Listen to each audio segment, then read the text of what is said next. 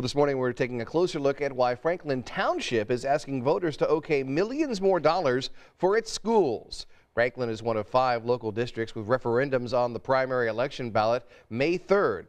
You got Edinburgh, Lebanon, Mount Vernon, and Perry Township also needing money for big plans. So we're taking a closer look at those requests. Our Bob Segall shows us why Franklin Township wants voters to do something they've never done before.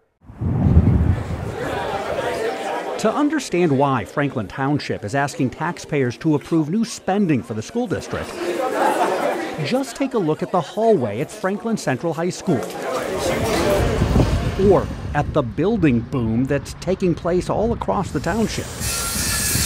We've seen tremendous growth. We've increased 1,800 students over the past five years. We have a demographic study that shows we're going to grow another 2,000 students over the next 10 years. And so we have to have a place to put them. You guys want to read the whole thing or your, a couple lines? English teacher Lisa Laker says with so much growth, many classrooms at the high school are just too small for the type of teaching that students need. It does not allow a teacher to have collaborative learning, breakout groups, even circulating around the room. There is not enough space. The vast majority of the $98 million referendum would pay for renovations at the high school. Franklin Central looks like it's in great shape, but the core of the building is almost 50 years old. Worst case scenario of 50 year old piping that was behind insulation. The school district's facilities director says what students and parents cannot see, the infrastructure, is in desperate need of replacement. The ductwork above the ceilings, uh, the HVAC units, uh, they wouldn't see that. Uh, electrostatic precipitator. And some classrooms, like these science labs, are still using computers and equipment that are decades old. A major renovation at the high school would change that. It takes time to plan out the project and have the project come to fruition, and so um, that's why now it's an important time for us to go and ask the community for this referendum. Residents in Franklin Township currently have the lowest tax rate in Marion County, in large part because they have never approved a school referendum. If voters pass this one, it would cost the owner of the average home in Franklin Township an extra $216 a year. School administrators say they understand that that is significant for taxpayers, but they say not approving a referendum could end up being even more costly. I can promise that if the referendum fails, it's just going to cost more later in order to fix the problems that we have. Doing nothing is not an option. We have to do something.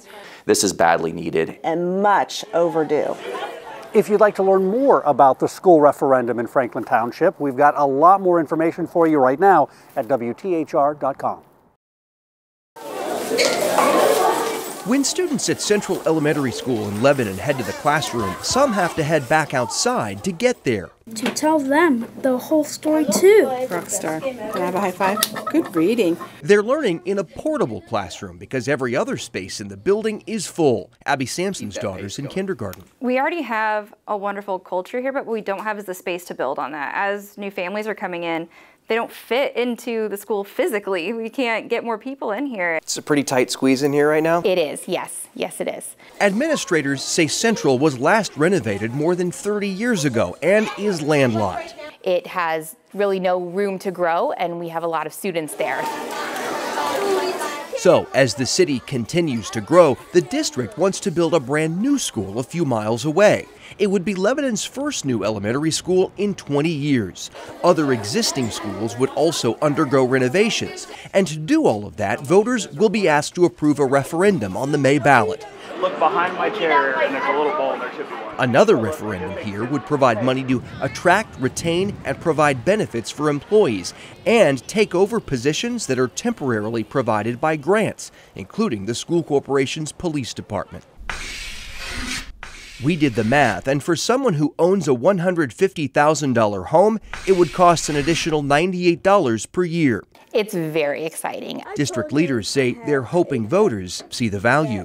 Lebanon is, is really a special place, um, and we have just a lot of great opportunities here. And so to see the potential of where we could be in, you know, five years and preparing for that growth to, to continue to come um, is really exciting. Today we're going to use Compromise of 1850. Rick Bechtel has dedicated 40 years to teaching in Edinburgh. And I wouldn't change a thing. He's about to retire, but worries future generations won't have the opportunity to teach here unless an operating referendum passes. Why not consolidate if the district is at this point where one referendum would mean it couldn't go forward? I grew up in a consolidation, uh, and it's just not the same. He thinks Edinburgh will lose some of its charm if the combined middle and high schools are gone. The school corporation is asking taxpayers for $742,000 over eight years. For someone who owns a $100,000 home, that's about $10 more a month. Superintendent Ron Ross says without it, the district will have to consolidate in five years. When you consolidate, you, you lose that central feel, you lose that pride in the community because um, we're not going to be Lancers anymore. We're going to be whatever school takes us on. Ross wants to use the money to offer more classes and increase teacher pay. We want to change that and be able to say, you know, there's only a few thousand dollars maybe between us and our competitors, and but what we have to offer is a, is a stronger brand and that small hometown feel. If this referendum passes, the district would also like to use some of that money on busing. They would like to make it so any student that wants to take a bus to school to have that option. Christian Wade has two kids but plans to vote no. I think that it's a temporary fix for a, a bigger issue. The district says it's in this spot because of a lack of state funding, limited home and business tax revenue, and declining enrollment. Ross hopes more resources will attract 200 new students. If that happens, he thinks Edinburgh schools will be fine. If this doesn't pass and there is a consolidation, where do your kids go?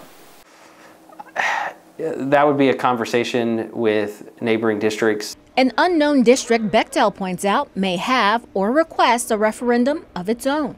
If you're going to pay a school tax, why not pay it for our kids and keep them here? Yeah, we should wait a second here. This is Keystone. A walk in the potential footsteps of his students. Well, right now we pick up door to door. If voters don't renew the district's referendum, it plans to cut bus routes, meaning 12 to 1,500 kids will take a trek like this, navigating puddles, potholes, and of course cars, many times without a sidewalk in sight. Those people who live closest to schools will be the routes that would be affected, and, and we would have to either have them walk to school or their parents would have to bring them to school. Mapes doesn't want kids dodging cars if he can help it. It's not just financial. Safety is our number one issue. I think everybody's aware of what's happened recently in Marion County in central Indiana um, with some students at bus stops who unfortunately have been hit by cars. Yeah. And I don't want that to happen in Perry Township. Neither does school resource officer Lucas Quinlan. The risk is super high. He was an accident investigator for IMPD before joining Perry Township Police. Quinlan says pedestrian accidents are on the rise locally. With distracted driving, distracted pedestrians walking with their cell phones, things like that. It puts kids at risk. Busing is just a small part of how the district will use the referendum dollars. The agua. 92% or $17.8 million will cover the salaries of teachers like Melinda Weiss Mathis. She helps English learners. Um, I know that if this referendum does not pass, then um, it's a very good likelihood that I will be stretched very thin if I still have my job. That's a nervous laugh. Weiss Mathis is scared of losing her position. School leaders say 193 teaching jobs and 41 other positions are tied to the referendum vote. So if this doesn't pass, you're going to have to fire teachers. That is correct. Mapes wants voters to know the wording on the ballot is a bit confusing. Voting yes will not raise taxes. The district is only asking voters to extend the current referendum. So you're not asking people to pay more, you're asking them to continue paying what they're paying. That is correct. This is a no tax increase for our residents. Without their vote, MAPES fears bigger classes, less academic and extracurricular options, fewer staff, and a more dangerous path to class for hundreds of students. And so it is devastating if it does not pass. A decision that will impact kids inside and outside the classroom.